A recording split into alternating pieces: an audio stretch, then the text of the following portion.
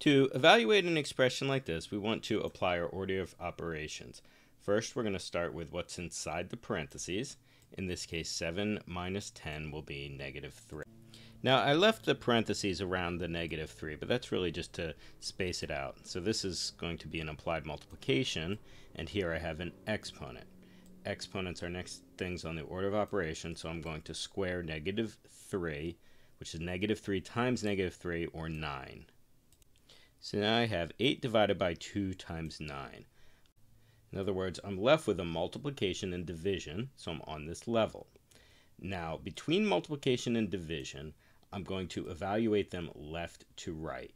So first I'm going to divide 8 by 2, then I multiply my result by the 9. 8 divided by 2, of course, is 4. So now I get 4 times 9, or 36.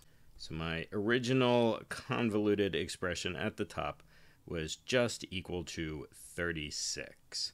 And I can remember my order of operations and how I go through. In particular, one thing always to remember is that between multiplication and division, we work left to right. Thank you.